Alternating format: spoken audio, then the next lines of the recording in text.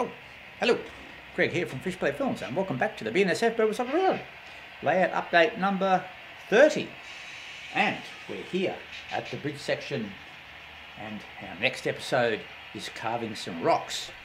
In our previous video we covered some cardboard strips with brown paper in between trains, covered them with the Sculpt It, the Aussie version of Sculptamold, and today we're just going to finish our last bit of brown paper, glue that on there, in between trains again, and get ready for some rock carving.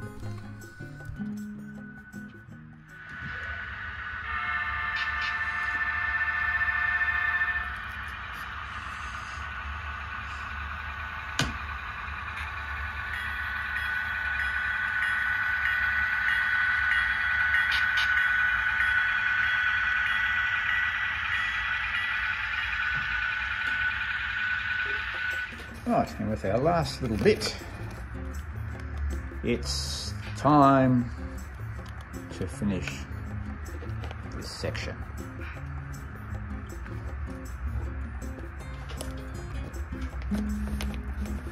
Ooh, didn't trace that very well, did I? Once again, if you can get a hot glue gun with one of these little nozzles, they are so helpful. There. Doesn't matter, the Sculptamold will go over it, but you know. Presentation is not just for the front door.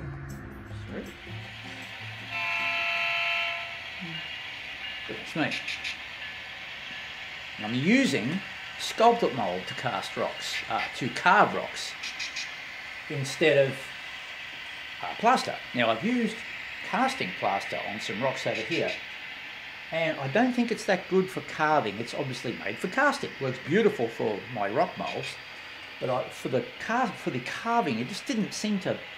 It probably would have been okay, but it, I mm, I prefer normal plaster. But I am really liking the Sculptamold, uh, but you have to have it really dry, and it takes a long time to set. It's more expensive than plaster, obviously, but it does have that grain in it, the fibre that you can use to your advantage. But anyway, we'll let this guy go through and we'll start the section just up here and see what we can achieve. So let's get into it.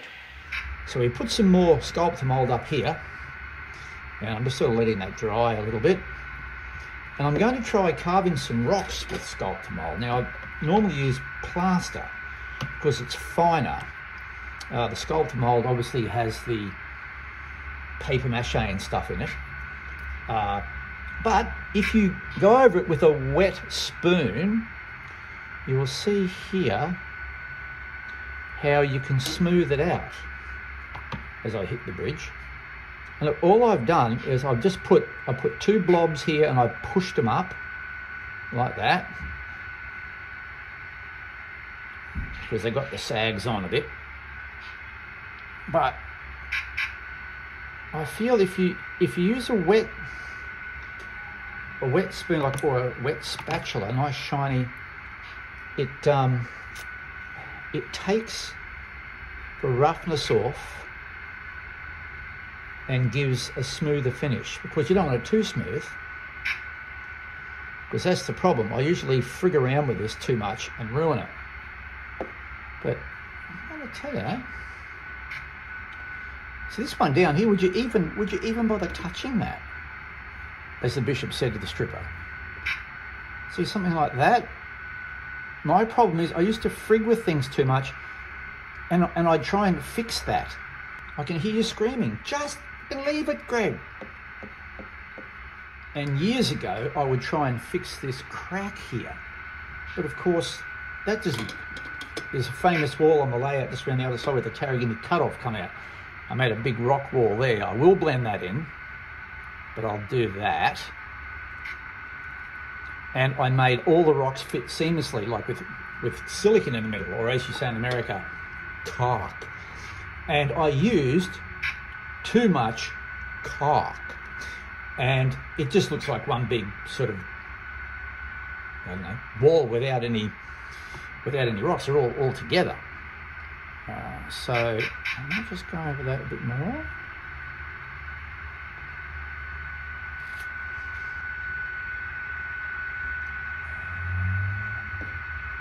Maybe just put a bit of a,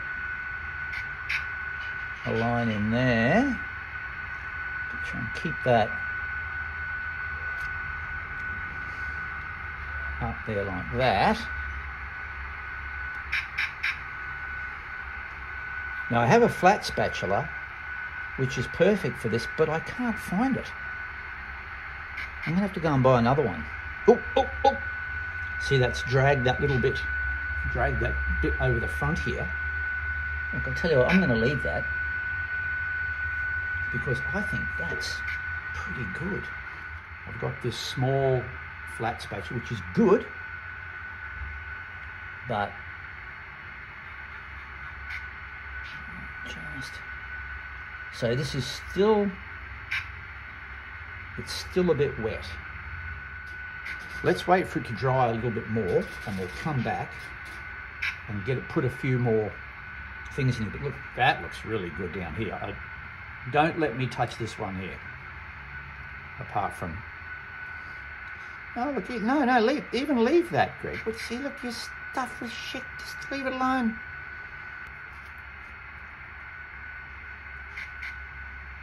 There we go.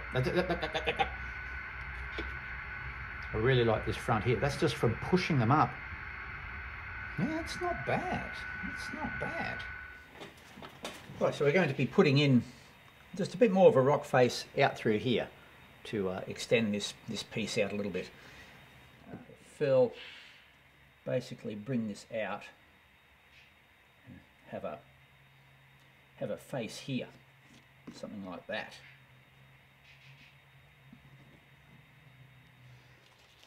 Making this up as we go along. Whoa, whoa, whoa, whoa. Now I'm channeling Volker from the BNSF, UP, model railroader in Germany who does spectacular scenery work and lots of other guys as well. But Volker's got a very good tutorial on uh, doing rocks. Now I'm using a, would you believe it, a cheese slicer because I can't find my really good spatula. Uh, so I'm have to go and buy, I'm going to go and buy an artist's palette, they call it. Uh, an artist, yeah, artist palette, um, because that is flat and uh, yeah, so we're not really getting what we want. So this is sort of the idea. Okay, so I'm looking at that further. I thought, no, that looks like crap. So uh, change of plan. We're going to bring that across to, to here now rather than have that uh, rather than have that bit. So what Volker says, you put the uh, you put the blobs where you really want the rocks, then you can sort of work it in. So you can see how that's even made something there. So we might go with that. So sculpt the mold over the cardboard. And this is where the the cardboard had um, just crinkled and I just rubbed some sculpt mold. That really doesn't need anything. That's pretty much done. We might just put that up there for shits and giggles. As in sort of one big rock here but without this sagging so I've I've actually done this too dry too wet again okay we're back after a coffee and I have let it dry out a bit now I've just gone along and pushed this up here. It's still, yeah, I still too wet really. But anyway.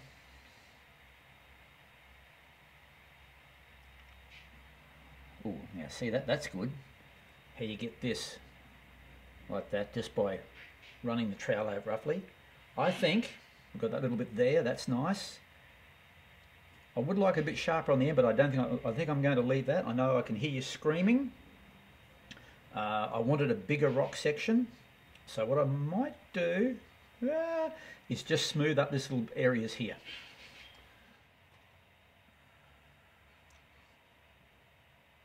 Just to give it a bit more you know, shiny, not shiny, smooth rock. There we go. Here, but no, you don't. So we might just leave that there. I might just blend that into that. I'm going in to buy some new spatulas in the next week or so. Ooh, look at that. Let's leave that. Let's leave that there. We'll leave that little ridge there.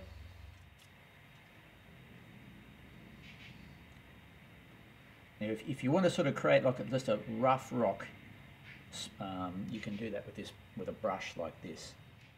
I would like to sharpen this up here a little bit, but I daren't not do it. I can come back and do that when it's uh, when it's drier. After a few hours, we've completed this section and it's pretty much dried off now. I almost fell into the trap of putting too many small rocks together, so I had to get that big one on the left going. But I'm pretty happy with the result. It's interesting the grain that the uh, Sculpt It has. I think it's quite good. So for the last bit in this video, we're going to, I wanted to fill this little bit area in here, but I wanted one sort of big rock uh, to fill up. You know, remember, you've got to try and stop yourself from putting too many small rocks in. So I'd like something like this cast rock. I really do like, I still like the cast rocks. They have fantastic detail to get in a hurry.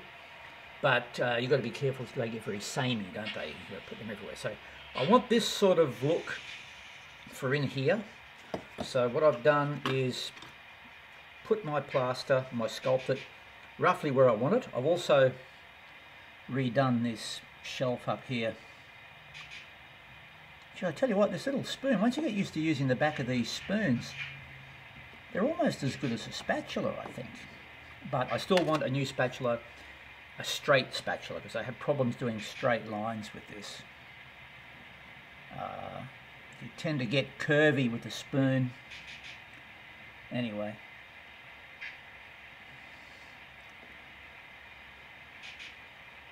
Whoop, whoop, whoop. Not having any depth perception doesn't help. I have no idea how far my hand is away from all this stuff, being having only one eye, so it's I have to do things by feel. That's where the wet finger comes in, isn't it? Okay, look, we'll forget that. That's a bit saggy from Okay, so we'll go back here and we'll push this up. Might do just a little bit of a once you get used to using this uh, Sculptamold, I think it does really good rocks to be quite honest. Now, that there, do we leave that? See, that's a happy accident. I think that is good because otherwise we'd have another curve. Can, I, I, tend to get too symmetrical. So let's let's leave that. Let's blend that in there. Dap with the old brush. Oh, tell you what, we might have just jinxed this.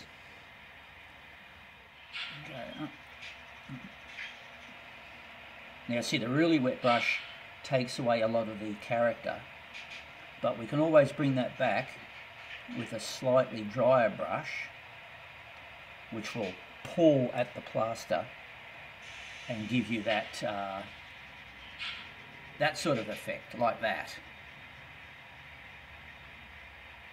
So we can just put that through there. See how the the dry brush pulls that back and gives you that. Oh, ho, ho, ho, oh. I'm going to leave that. I can hear you screaming. I know, I know. Oh, look that, really happy with this here, that little bit there. Quite happy with this corner bit, but what we might do is let this dry for about 20 minutes and we'll come back when it's a bit drier and finish it off.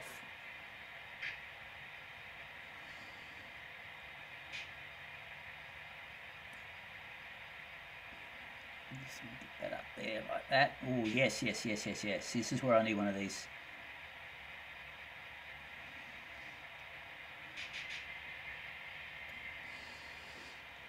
Oh, oh, oh, oh, oh, oh, oh. Is that good or am I just overthinking my own work here? I am blind in one eye, you know, so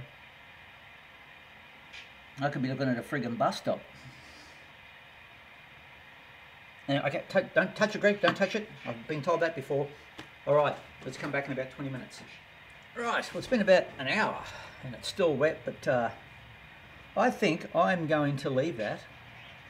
I might just ruin it by trying to get this line up here a little bit more but I'm not going to be too worried about that that'll do we'll just get rid of that. So I think we'll leave that. I'm happy with the texture here happy with that little lip there. It could be bigger but if I screw with it you know I might I might uh, lose it. We might just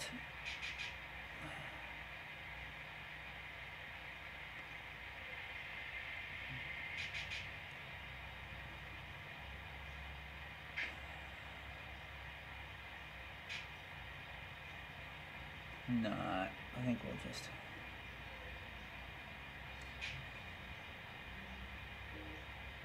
Oop, there we go.